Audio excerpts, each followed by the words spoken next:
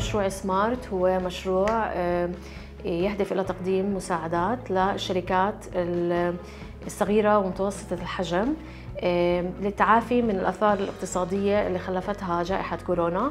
يقدم المشروع دعم عن طريق منح لهي الشركات وسيساهم الدعم المقدم من المشروع في زيادة القدرة التنافسية للشركات الصغيرة والمتوسطة والشركات الناشئة وتوفير الأدوات اللازمة لزيادة حصتهم في السوق وزيادة فرص العمل. كما سيساهم المشروع على نطاق واسع في النمو الاقتصادي والاعتماد على الذات في الضفة الغربية وقطاع غزة والقدس الشرقية.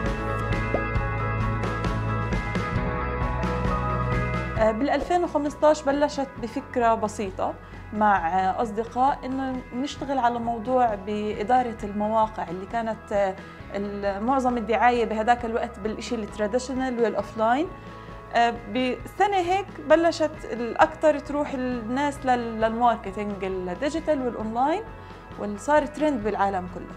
وبلشت عيون بحاجة لموظفين تكون شركة أكثر وكل سنة صرت أحاول أضيف عليها إشي جديد. مشروع سمارت إنه هو دعم كتير مهم. فما بالك كمان إذا بيكون في دعم مادي يساعدهم على تخطي هالأزمات اللي خلقتها فترة الكوفيد بهاي آخر مرحلة.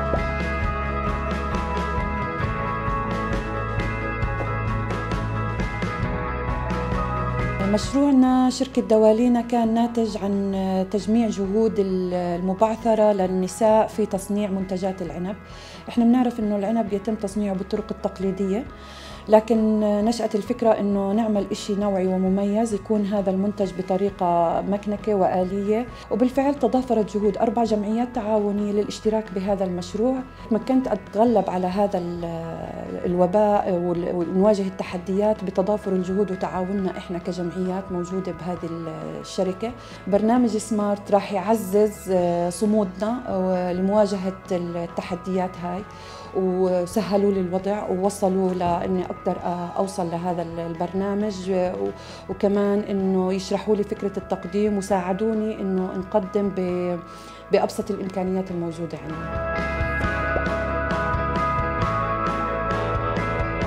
المشروع هذا هو هوتيل في يوجد به أوتيل ومطعم نعمل به حوالي 50 موظف التحديات التي واجهتنا هو هي في قطاع غزة هي الوضع الاقتصادي العام الذي أثر على جميع القطاعات الموجودة في قطاع غزة مما وجزء منه جزء القطاع السياحي. نشكر مشروع سمارت والقائمين عليه. نتمنى لهم الاستمرارية والعطاء لكي يقوم قطاع غزة بالنهضة في هذا المجال.